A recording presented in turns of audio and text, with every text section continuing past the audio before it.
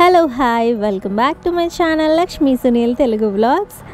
So ఇది ఏంటంటే ఒక రకమైన కిచిడీ వ్లాగ్ అనమాట నేను కంటిన్యూస్గా వ్లాగ్స్ అవి చేయడం మధ్యలో ఆపేసాను కాబట్టి వీడియోస్ తీయాలి అనే సంగతి మర్చిపోయి నార్మల్గా నా పనులు నేను చేసేసుకుంటున్నాను. ఎప్పుడైనా సునీల్ గుర్తు చేస్తుంటే ఓ మనం వీడియోలు తీయాలి కదా అని చెప్పేసి అప్పుడు గుర్తొచ్చి తీస్తున్నాను తప్ప నార్మల్గా అసలు నాకు గుర్తుండట్లేదు అనమాట సో ఇది ఏంటంటే ఒక త్రీ ఫోర్ డేస్ది కొంచెం కొంచెం తీసిన క్లిప్స్ అన్నీ నేను ఈ వీడియోలో యాడ్ చేసేస్తున్నాను. ఇదైతే అస్సలు మొత్తం అంతా కిచిడిలా ఉంటుంది. సో ఇక్కడైతే నేను ముగ్గులు పెట్టేస్తున్నాను. నాకు చాలా ఇష్టం అని మీకు అందరికీ తెలుసు కదా. ముగ్గులు పెట్టడం అంటే ఇలా ఎప్పుడు నేను అనుకునేదాన్ని అనమాట మాకు కింద ఇల్లు దొరికితే బాగుండేది రోడ్డు మీద పెద్ద పెద్ద ముగ్గులు పెట్టుకోవచ్చు అని అనుకునేదాన్ని. బట్ ఎప్పుడు మేము రెంట్కి వెళ్ళిన ఫస్ట్ ఫ్లోర్ కానీ అంతకన్నా పైనే దొరికే తప్ప కింద ఎప్పుడు దొరికేది కాదు. ఇక్కడ దొరికింది. కాకపోతే ఇప్పుడు నేనే పెద్ద పెద్ద ముగ్గులు పెట్టే పొజిషన్లో లేను. ఉండుంటే బాగుండేది. బట్ ఏదైనా చిన్న చిన్న ముగ్గులైనా నేను పెట్టుకుంటున్నాను. నాకు అదొక హ్యాపీనెస్ అనమాట అండ్ ఇంకా ఇందులో ఏంటంటే నేను నార్మల్గా తింటున్న కొన్ని కొన్ని రెసిపీస్ అవి చూపిస్తూ ఉంటాను. రెగ్యులర్గా మనం తినేవే తింటున్నాను. కాకపోతే ఇంతకు ముందు కన్నా కొంచెం ఎక్కువ కాన్షియస్గా అనమాట బ్రేక్ఫాస్ట్ స్కిప్ చేయకుండా నేను నార్మల్గా బ్రేక్ఫాస్ట్ ఎప్పుడు తినేదాన్ని కాదు. సరిగ్గా స్కిప్ చేసేదాన్ని ఇంతకు ముందు అయితే. బట్ ప్రెగ్నెన్సీ కన్ఫర్మ్ అయినప్పటి నుంచి అయితే బ్రేక్ఫాస్ట్ అస్సలు స్కిప్ చేయలేదు. అండ్ బ్రేక్ఫాస్ట్ అయినా ఒక ఒక వన్ అవర్కి ఏదైనా ఒక ఫ్రూట్ తీసుకోవడం అండ్ ఫ్రూట్ బోర్ కొట్టి కొట్టింది అనిపిస్తే జ్యూస్ చేసుకొని తాగడం. జ్యూస్ అయితే చాలా తక్కువ మ్యాక్సిమం ఫ్రూట్సే. అండ్ బ్రేక్ఫాస్ట్కి వచ్చేసరికి నాకు ఆయిల్తో ఎక్కువగా చేసే ఫుడ్స్ నచ్చవు కాబట్టి ఎక్కువగా ఇడ్లీ ఉప్మా తినేదాన్ని. ఉప్మా కూడా తక్కువ ఇడ్లీ ఎక్కువగా తినేదాన్ని. అండ్ అప్పుడప్పుడు తినాలి అనిపిస్తే దోశ అంతే. పూరీలో అలాంటివి తిన్నమాట నాకు ఇష్టం ఉండదు. అంటే ఆయిల్లో ఎక్కువగా డీప్ ఫ్రై చేసేవేవి అంతగా నచ్చవు. అండ్ uh, అప్పుడప్పుడు ఇలా బోర్ కొట్టినప్పుడు జ్యూస్ లేదంటే ఫ్రూట్స్ అలా తినేదాన్ని. అండ్ లంచ్లోకి ఎక్కువగా uh, ఆకుకూరలు తినేదాన్ని. బట్ అవేవి నేను చెప్పాను కదా వీడియోస్ తీయడం అయితే మర్చిపోయాను. అండ్ బీరకాయ కర్రీ చేసుకునేటప్పుడు ఖచ్చితంగా బీరకాయ తొక్కతో పచ్చడి కూడా చేసుకునేదాన్ని అనమాట ఎందుకంటే అది ఫైబర్ ఎక్కువగా ఉంటుంది. అందుకని ఫైబర్ రిచ్ ఫుడ్ చాలా ఇంపార్టెంట్ కాబట్టి ఫ్రూట్స్ని తినడం డైరెక్ట్గా అండ్ ఇలాగా ఫైబర్ ఎక్కువగా ఉన్న వెజిటబుల్స్ కూడా తినడం అది చాలా ఇంపార్టెంట్ అనమాట ఈ టైంలోని.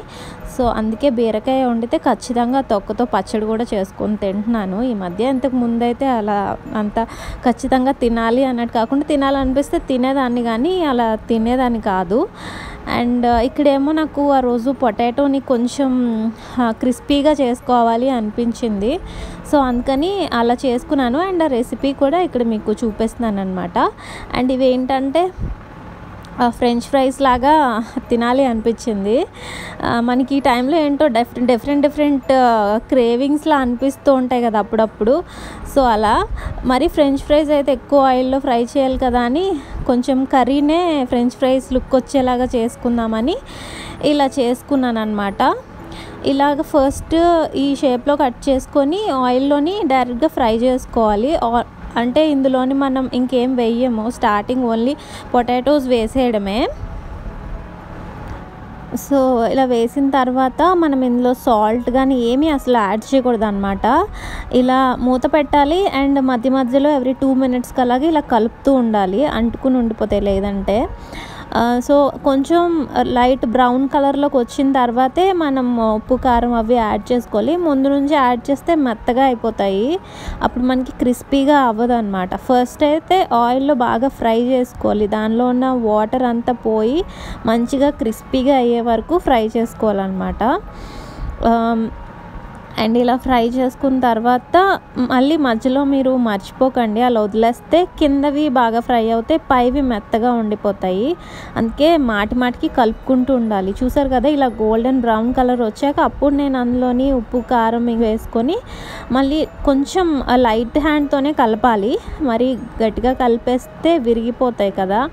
సో అందుకని లైట్ హ్యాండ్తో అలా అలా కలిపేసి మళ్ళీ బాగా ఫ్రై చేసుకోవాలన్నమాట. టేస్ట్ అయితే చాలా చాలా బాగుంది. అసలు సేమ్ ఫ్రెంచ్ ఫ్రైస్ లాగే ఉంది. కాకపోతే ఇది ఏంటంటే అప్పటికప్పుడు వేడిగా తింటే చాలా బాగుంది కర్రీ. మళ్ళీ తర్వాత ఒక వన్ అవర్ తర్వాత మళ్ళీ మెత్తగా అయిపోయింది.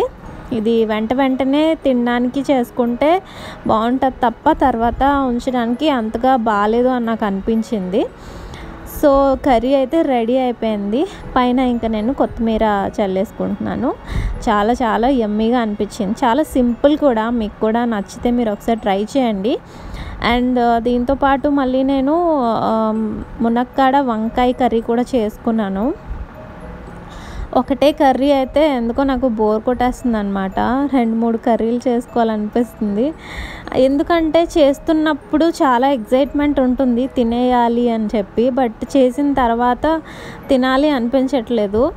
ఒకటే అయితే మళ్ళీ తినాలి అనిపించకపోతే కష్టం కదా అని రెండు మూడు అయినా చేసుకుంటే ఏదో ఒకదాంతో అయినా తింటాను కదా అని అలా చేసుకుంటున్నాను అనమాట సో ఇక్కడైతే పప్పు tomato and potato fry and మునక్కడ వంకాయ కర్రీ చేసుకున్నాను. సో ఆ రోజుకైతే లంచ్ అది. అండ్ దాని తర్వాత ఒక కొంచెం సేపు గ్యాప్ ఇచ్చి మళ్ళీ మజ్జిగ తాగుతాను. మజ్జిగ అయితే రోజుకి ఒక ఫోర్ ఫైవ్ గ్లాసెస్ అయినా తాగుతూ ఉంటాను. అండ్ ఇది యాక్చువల్గా అదే రోజు కాదు ముందు రోజు అనుకుంటా. ఇంకా బట్టలు సర్దుదామని తీసాను ఇవన్నీ. చాలా బట్టలు ఉన్నాయన్నమాట నాకు బట్టలు సర్దినప్పుడే తెలుస్తుంది నాకు ఇన్ని బట్టలు ఉన్నాయని. వేసుకునేటప్పుడు మాత్రం ఎప్పుడూ అవే బట్టలు వేసుకుంటాను. బీరువాలో చూస్తే చాలా బట్టలు ఉంటాయి. సునీల్ ఏమో ఈసారి ఇల్లు మారినప్పుడు సునీల్ కదా కొంచెం హెల్ప్ చేశాడు. బట్టలు సర్దినప్పుడు అయితే నీకు ఇన్ని బట్టలు ఉన్నాయి ఏంటే ఎప్పుడు ఆ టీ షర్ట్లు వేసుకొని తిరుగుతావు? ఈ బట్టలన్నీ ఎందుకు? అని అన్నాడు. ఎందుకంటే ఎప్పుడు చూసినా ఇంట్లో టీ షర్ట్లే కదా వేసుకుంటాం. ఇన్ని బట్టలు ఉన్నాయి ఇవన్నీ వేసుకోకుండా ఎప్పుడు అవే వేసుకుంటావు ఎందుకు అని అంటున్నాడు. అవన్నీ మనం బయటికి వెళ్ళినప్పుడు వేసుకునేవి కదా అవి ఇంట్లో ఎలా వేసుకుంటాం మీరే చెప్పండి. ఇంట్లో వేసుకునేవి కంఫర్టబుల్గా ఉండాలి కాబట్టి ఇప్పుడు మరి టీ షర్ట్సే వేసుకుంటాము. సో ఇప్పుడైతే నేను మొత్తం అన్నీ సర్దుకుంటున్నాను. బీరువాలో పెట్టాల్సినవి అన్నీ బీరువాలో పెట్టేసి ఇంకా పక్కన ఉన్న అరలో ఇంటి దగ్గర వేసుకునేవి అవి పెట్టుకున్నాను. బట్టలు సర్దడమే చాలా పెద్ద పని. అది అయిపోయిన తర్వాత ఇంకా మిగతాదంతా కొంచెం ఈజీగానే ఉంటుంది. సో ఫస్ట్ అయితే బట్టల మీద కాన్సన్ట్రేట్ చేశాను అండ్ ఇది అయిపోయిన తర్వాత ఇంకా అలసిపోయాను. కాసేపు రెస్ట్ తీసుకున్నాను.